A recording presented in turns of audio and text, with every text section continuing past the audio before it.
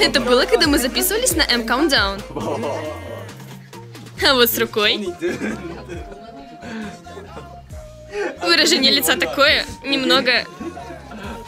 Твой рот очень смешно выглядит. Забавно.